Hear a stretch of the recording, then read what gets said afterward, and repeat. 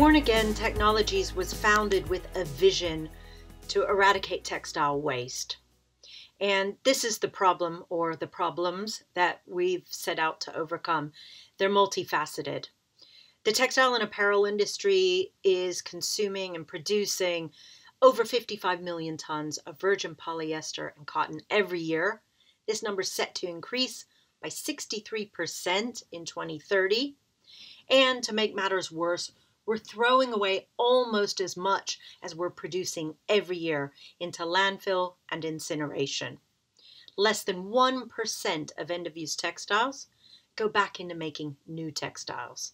And that's a huge challenge. This is this was our starting point back in 2012 when we started the development of this technology. So we've developed a polymer recycling process that's able to take in end of use textiles, post industrial, any textile waste that's made out of polyester, pure polyester, polycotton blends, and it can have up to 10% other materials in it.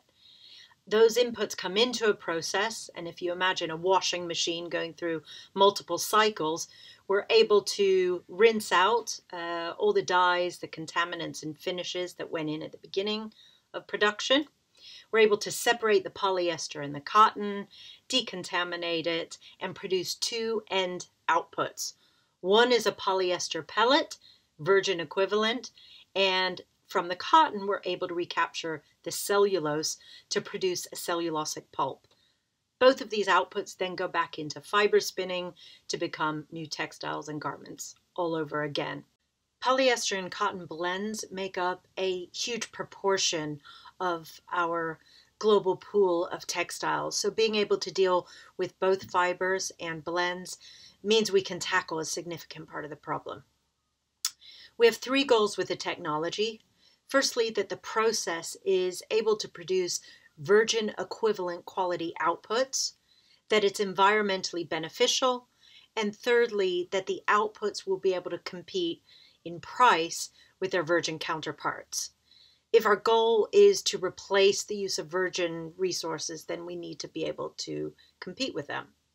Where are we at in developments? We've just launched a pilot plant in the north of England, which is being used to carry out multiple trials, optimizing processing steps, and gathering data to inform the next phase of developments, which is the demonstration plant.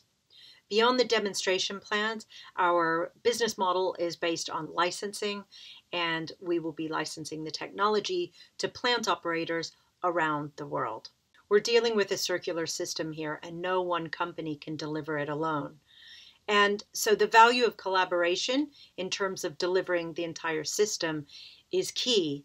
Um, but equally, we took this collaborative strategic partnership approach to the way we developed our technology um, as well as finance raising. This is an overview of the circular system and where we sit. We're in that little blue box where our role is simply to close the loop between two supply chains, production and end of use textiles, to be able to enable the circularity of raw materials for the textile industry. In closing, we already have enough textiles in circulation today to satisfy our annual demand for making new textiles.